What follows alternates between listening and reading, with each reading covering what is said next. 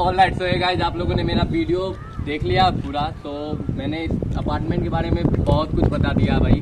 तो अगर आप लोगों को वीडियो ज़रा सा भी अच्छी या बुरी लगी तो भाई बुरी भी लगी होगी तो वीडियो को ज़रूर लाइक लाइक कर दो.